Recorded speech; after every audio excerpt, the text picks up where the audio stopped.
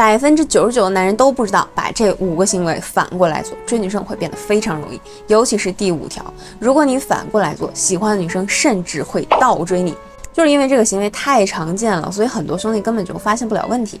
那这条视频呢，建议兄弟们点赞收藏，学会了帮你少走十年弯路。第一个，先确定关系后表白。很多兄弟在追女生的时候啊，喜欢先表白，还停留在一个先买票后上车的传统思维。你试想一下，如果女生不喜欢你，你表白了，他就会喜欢你了吗？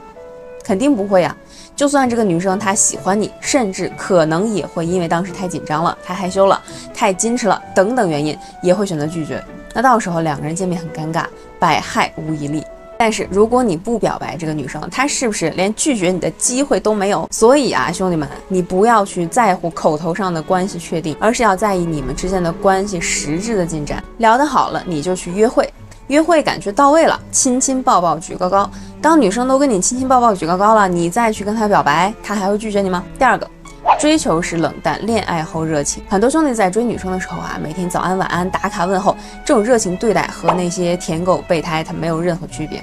有一部分兄弟他运气好啊，追到了，可追到之后呢，就开始冷淡了，女生就会感觉你变了，刚开始你不是这样的呀，然后呢就对你失望，分手。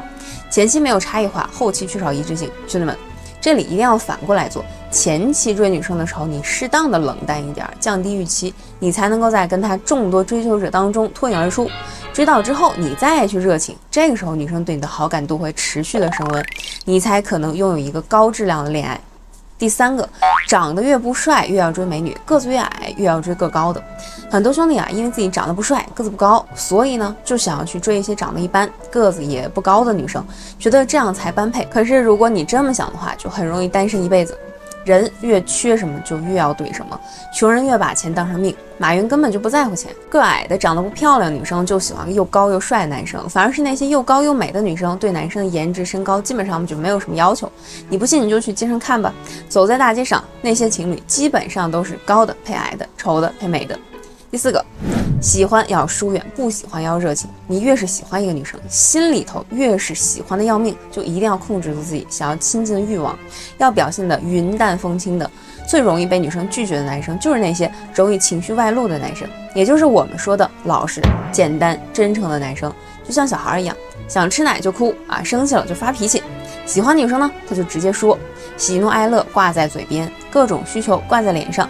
在女生的眼中呢，简单真诚就等于幼稚无趣，要多去讨好自己，少去讨好女生，只有这样才会有女生喜欢你，追求你。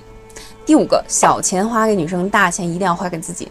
你要学会去打造自己的外在形象，什么口红、化妆品、包包什么的，特殊节日送一下就行了。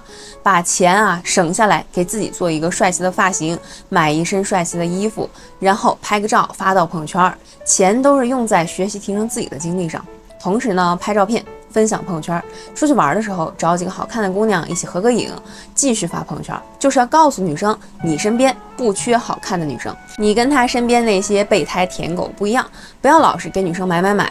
但凡有几分姿色的女生，身边从来都不缺给她花钱的男生，他们缺的是有趣的、懂生活的精致男生。真正会谈恋爱的啊，从来都不会单方面的给女生花钱，甚至说女生心甘情愿的去给他花钱。不要把女人都想得很高大上，大多数人都是很浅显的。只要让这个女生觉得你很牛，你的衣品好，你的品味好，你身边从来不缺女生，她自然而然的就会喜欢你。你把钱花给自己，比花给女生强一万倍。女朋友从来都不是通过讨好来的，而是吸引来的。一段感情开始呢，也不是付出，而是吸引。